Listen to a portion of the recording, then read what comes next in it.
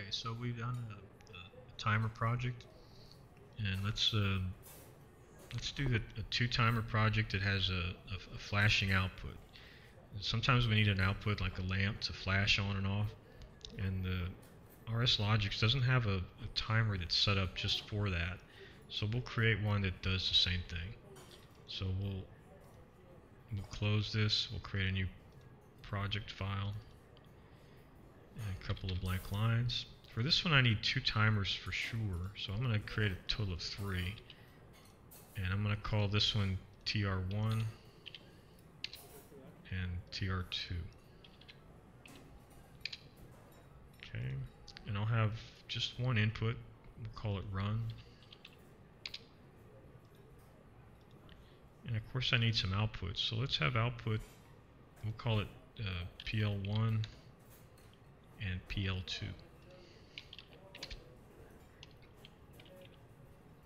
Okay, PL1, PL2.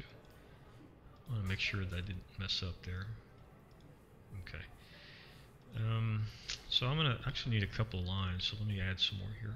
So this this is an interesting circuit. So I'll have the run switch in here, and I'll have a timer.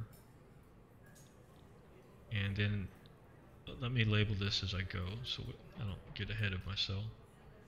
Here's run, and here's TR1. Okay, so we'll, we'll let this be a one second timer, kind of slow. So when this timer is not, uh, when this timer is finished, I want the second one to start timing. So one timer kind of controls the next timer. So um, let me drop that in here.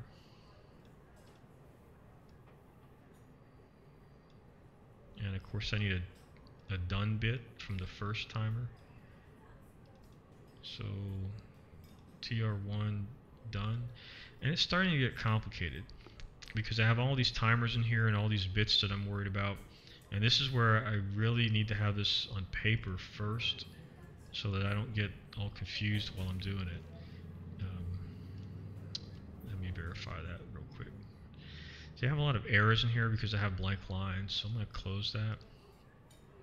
And I'm trying to get that done bit to pop up on that uh, and there it goes. Okay. And of course this is TR2, so let me drop that over there. Okay. So, so far so good, but when this timer turns on, I want it to reset the first one so that there, it's really unstable. So I'll put a not done here from this timer. So let me drop that in. Uh, TR2 not done. Okay, so it's it's an interesting circuit. Uh, I turn on the power. This one's not finished yet, so this timer starts. After a second, it's finished. This timer starts. After another second, this one turns on, which turns this off, and everything starts over. So there's a cycle to it. So we can call this a cycle timer. Uh, I can buy a cycle timer for a couple hundred dollars, or I can just set up this logic and do the same thing. Okay, two outputs. I have output PL1 and PL2. So here's output PL1 and PL2. So what I'd like is whenever this first one turns on, I would like this PL1 to turn on. So I need a, an open contact, an on contact, and this right here will do it okay and I'd like this lamp to be on when this lamp is not so what I'll do is I'll put a not here and I'll put that in its place so if this lamp is, is off this lamp needs to be on so they're going to flash back and forth uh, and to make it more interesting I guess uh, see I don't want this lamp on all the time so I need to say if, if the run switch is on then I can let this work so let's throw a few more contacts in here. This kind of illustrates the nice thing about ladder logic is that if I make up, you know, if I change my mind, I can just go in there and throw some more contacts and I'm done. If I was hardwiring the circuit, I would have to go and rewire things, and I don't like to do that. It takes more time. Uh, so, so let's uh, verify this, and we'll go ahead and send it on its way. uh, system comms, the local download, and let me call this, uh, let's call it cycle timer. Cycle timer. So we use this this uh, this logic quite a bit. So just keep it handy in your notes, or just keep it in a file. You can always copy and paste.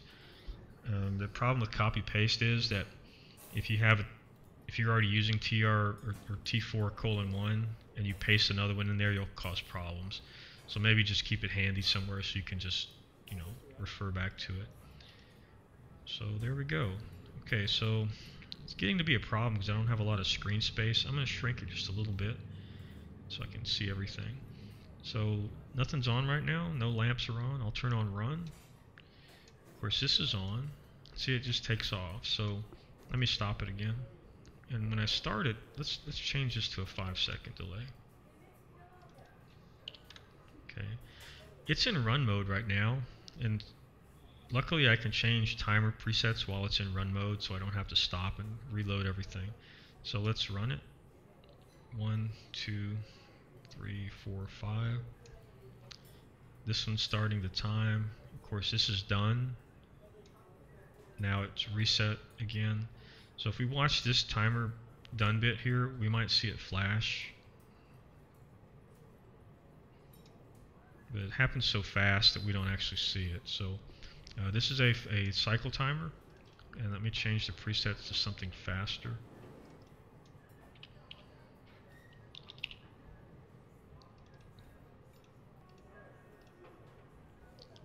To go offline to do this, but uh, I can change the preset to a 0.1 or 0.01. So let's do that. Let's go offline. Save changes. Yeah, let's go ahead and save those changes.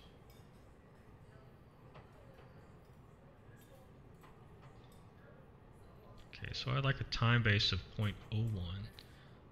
So 0.01 times 50 is 0.5, so it's a half second timer now. So let's verify that, and we'll send it back over.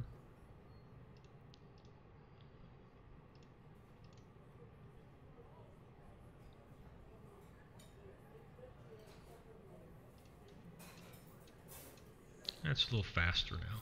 So if we have a flashing light, you know, we don't want to wait a second for it to flash, maybe a half second or quarter second, uh, something to get your attention.